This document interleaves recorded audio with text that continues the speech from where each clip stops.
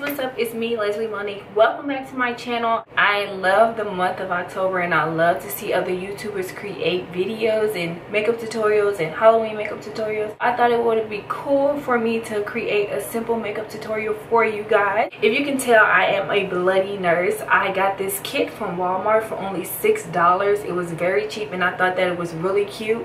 So i decided to recreate and just add some more extra stuff to it. And if you guys would like to see how I created this sexy bloody look let's hop into the video Okay, so this is the Bloody Nurse makeup kit that I actually use for my face. I also picked up some liquid latex to actually add a scab and more definition. And this Bloody Scab Fake Blood came into the kit as well. So starting with my foundation and brows already on, I'm going to add the liquid latex to my face with the sponge.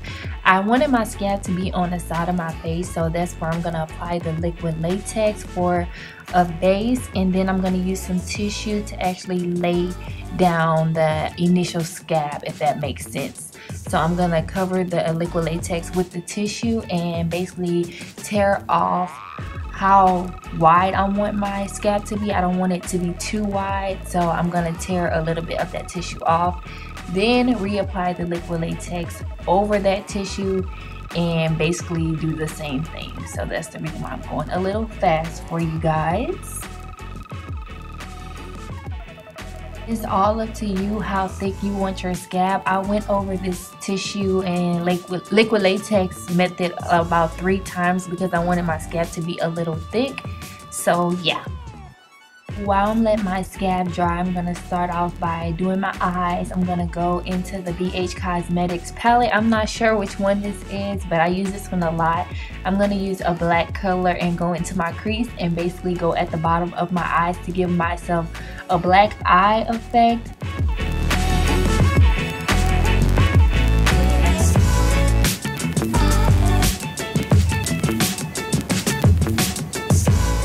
Adding some more definition i'm actually going to go back into that palette and i'm going to use the red color to add like you know when you have a black eye you want it to look a little red?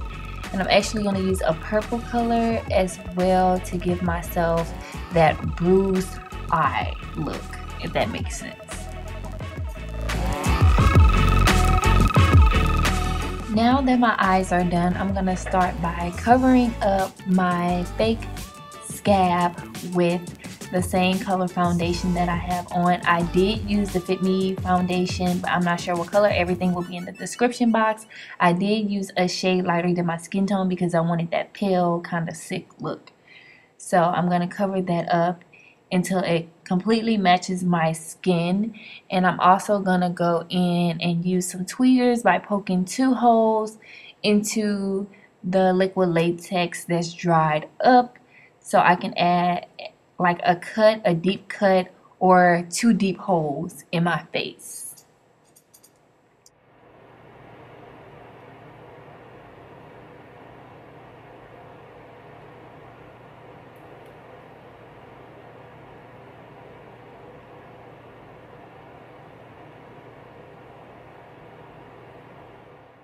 Adding detail to my face, I'm going to start off by going back into that palette using the black color and covering up my holes with a with that black just to give it a standout look as in me having two holes in my face.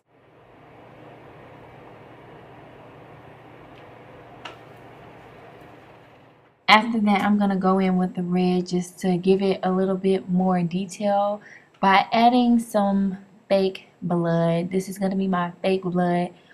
Before I add the actual liquid blood to my face, this is just going to be like me basically adding detail, putting bruises up on the scab. You don't have to be perfect. You can just do whatever. Just go with the flow is that's what I did because with the Halloween makeup, you don't have to be perfect. And I'm actually going in with a purple as well to give it that bruise look again.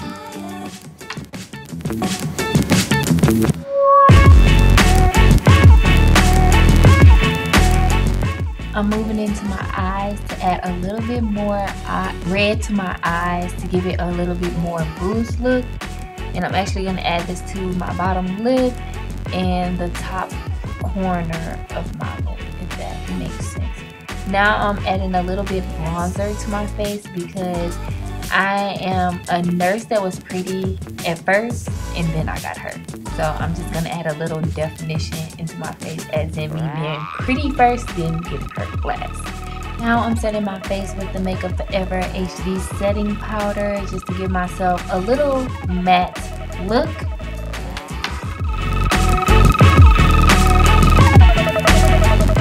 So this is the fun part. I'm gonna take this fake blood and I'm gonna add this in the places where I want my face to have a lot more definition. And of course I have to apply it to the scab to make it look way more realistic and make it pop a little bit more.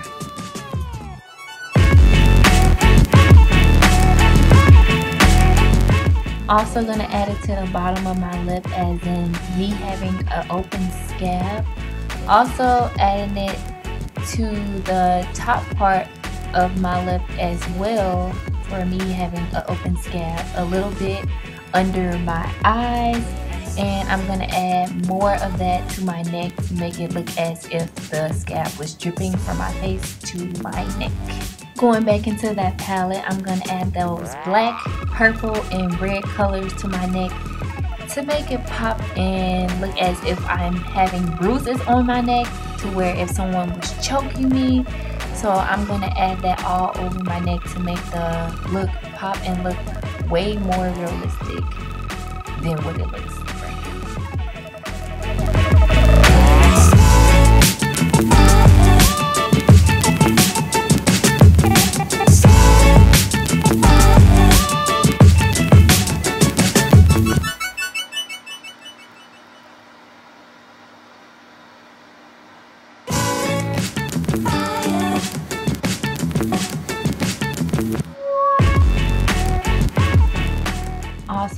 some of that eyeshadow to the top of my head as in someone hitting me as well.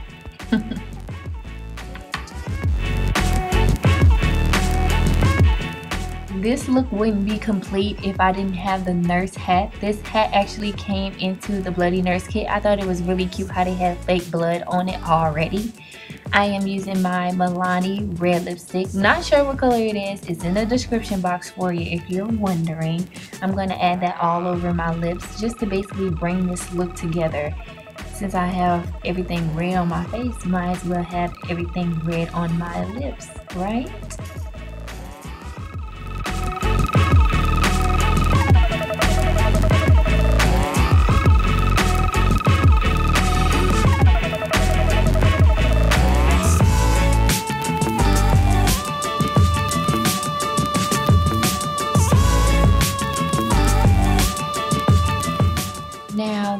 Lipstick is added all over my lips, I'm just going to smear it just a little bit.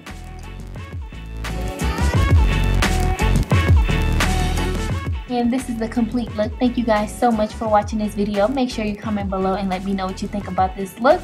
And I'll see you guys in my next one. Bye guys.